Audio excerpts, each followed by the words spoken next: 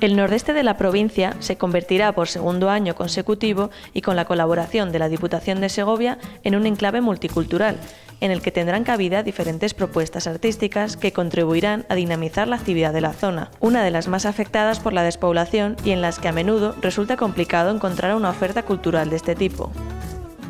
Así lo han anunciado hoy el diputado del área de Cultura, Juventud y Deportes, José María Bravo, el presidente de Codinse, Jesús López, y el coordinador del proyecto, Adolfo Casas. En este proyecto sí que vamos a estar presentes la Diputación Provincial de Segovia, vamos a atender la mano también.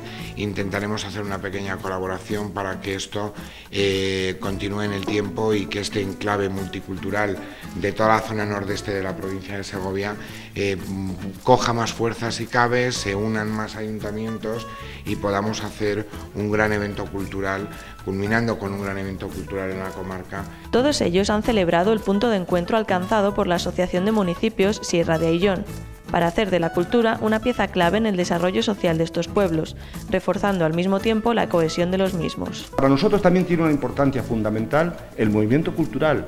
El movimiento cultural es la, grasa, eh, el engranaje, eh, la vaselina que facilita eh, que la vida en los pueblos sea mejor, sea más agradable y por supuesto al mismo tiempo que genere identidad de comarca. ¿no?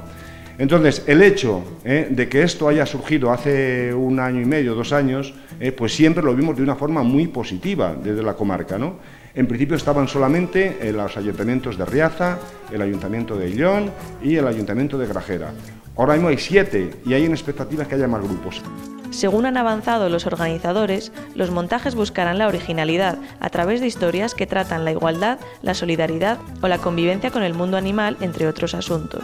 La programación se extiende dos semestres sobre las cuatro estaciones del año y pretende conseguir poner en escena hasta 35 espectáculos. Podemos dedicar eh, al teatro ocho tardes apacibles de otoño y otras tres de invierno al calor de la magia. Y por delante tendremos esperando otras 24 entretenidas tardes, donde la música anunciará el despertar de la primavera y el circo servirá para alimentar el bullicio de las eh, calles en verano.